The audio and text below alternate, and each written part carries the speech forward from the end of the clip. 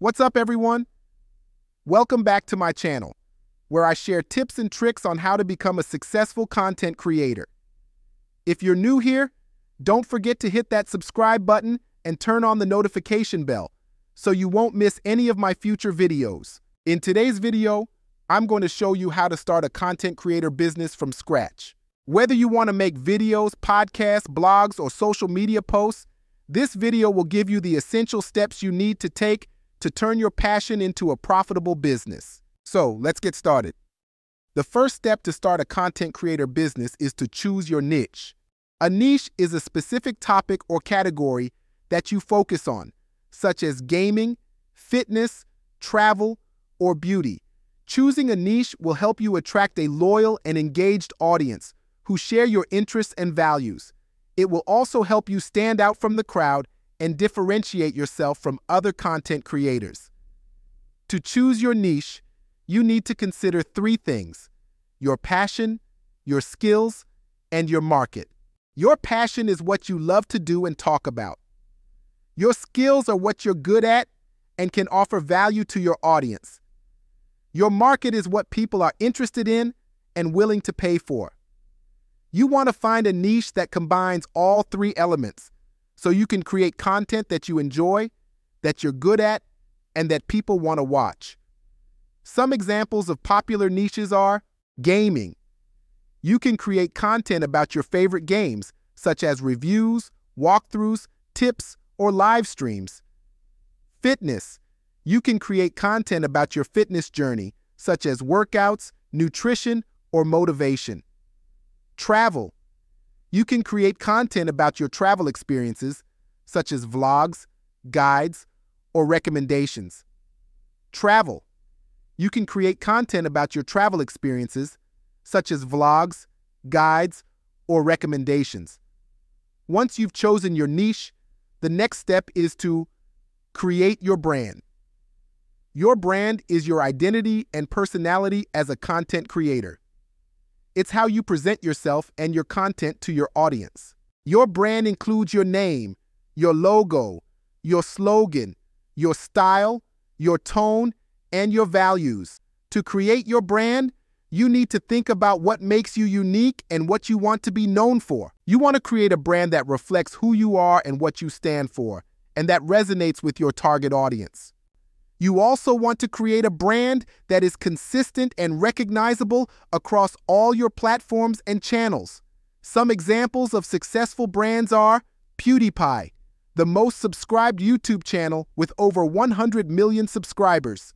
His brand is based on his humorous and sarcastic personality, his gaming content, and his catchphrase Brofist. Joe Rogan, the host of the most popular podcast in the world, The Joe Rogan Experience. His brand is based on his candid and controversial opinions, his diverse guests, and his slogan Powerful.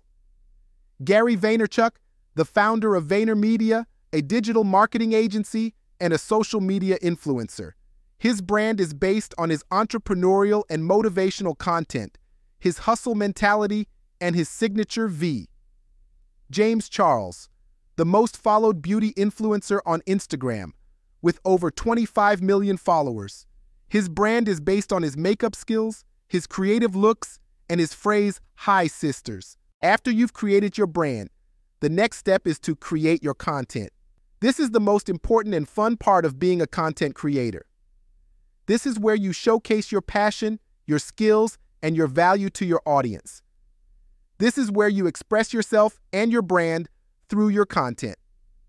To create your content, you need to consider four things your format, your quality, your frequency, and your promotion. Your format is the type of content you create, such as videos, podcasts, blogs, or social media posts. You want to choose a format that suits your niche, your audience, and your style. Your quality is the production value of your content, such as the audio, the video, the editing, or the writing. You want to create content that is clear, engaging, and professional. Your frequency is how often you create and upload your content, such as daily, weekly, or monthly. You want to create content that is consistent and reliable so your audience knows when to expect it. Your promotion is how you market and distribute your content, such as using SEO, hashtags, or collaborations. You want to create content that is discoverable and shareable so you can reach more people and grow your audience. The final step to start a content creator business is to monetize your content. This is where you turn your passion into a profit and your hobby into a career. This is where you make money from your content and your audience. To monetize your content, you have several options, such as advertising. You can display ads on your content, such as banners, pop ups, or pre rolls, and earn money every time someone views or clicks on them. Sponsorships. You can partner with brands or companies that are relevant to your niche and promote their products or services to your audience and earn money for every sale or lead you generate. Subscriptions. You can charge your audience a fee to access your content, such as a monthly or yearly membership, and earn money for every subscriber you have. Products or services. You can create and sell your own products or services, such as merchandise, courses, books, or coaching, and earn money for every customer you have. And that's it, folks. That's how you start a content creator business in 2024. I hope you found this video helpful and informative. If you did, please give it a thumbs up and leave a comment below. Let me know what kind of content you create or want to create and what challenges you face or need help with. I'd love to hear from you and support you on your journey. Thank you so much for watching, and I'll see you in the next video. Peace out. Hello YouTube. Thank you for watching my video. I really like it and I know you enjoy it. It's me. You just listen to me, but my voice was very little clone, right? So I wanted to deliver this content to you with a voice that is very engaging. And I really want to record this video at the end of it and uh, to build the connection with you, uh, my audience. I know you visiting my channel, you're watching my channel. I want to add this uh, to it so I can you can know that it's me. It's my content. I built it. I created myself. Sound like me, but in a little bit more aggressive way, so you can listen to me. So visit my channel.